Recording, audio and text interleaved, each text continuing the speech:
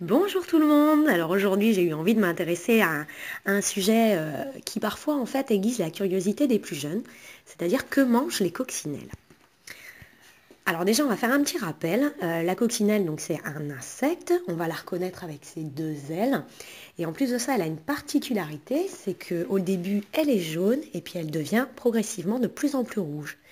Par contre, dès que cette petite coccinelle, elle arrive au monde, elle a déjà un nombre de points qui est prédéterminé. C'est-à-dire, elle aura un nombre de points qui n'évoluera pas dans sa vie. Si elle a 5 points, elle aura toujours ces 5 petits points noirs sur le dos. Et ça, ça peut aller entre 2, voire 24 points parfois. Donc, le nombre de ce point ne détermine pas leur âge, bien sûr. Alors, en ce qui concerne l'alimentation, bah, en fait, les coccinelles, on dit qu'elles sont insectivores. Pourquoi? Parce qu'elles vont manger les insectes, notamment de votre jardin.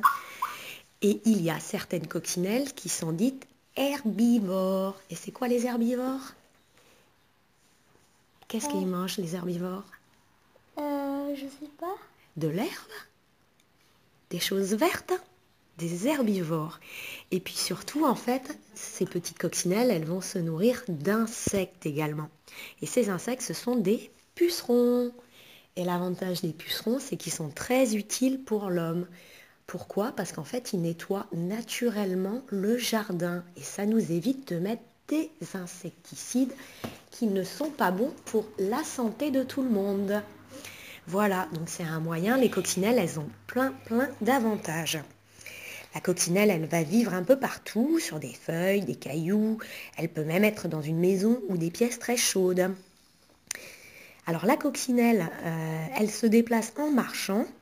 Et euh, quand il fait beau, eh bien parfois, elle vole. Mettez-la au bout du doigt et regardez. À bientôt À bientôt